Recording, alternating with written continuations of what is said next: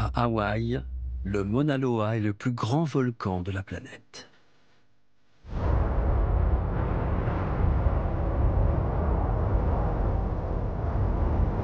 Couche après couche, les coulées de lave ont érigé un véritable colosse de basalte.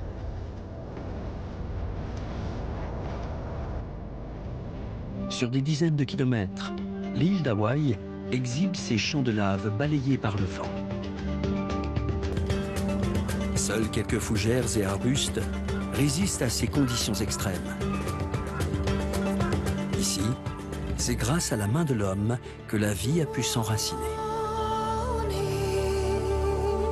Dans les anfractuosités du volcan, un habitant s'est trouvé un refuge et un lieu parfait pour cultiver.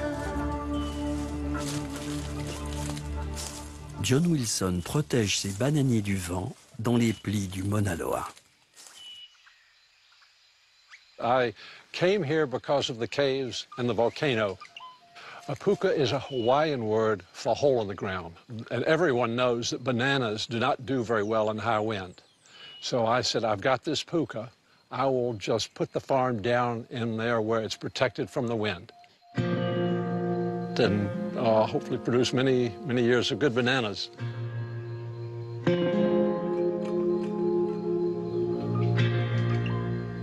Well, the hole was already here, but the rocks were scattered about at random.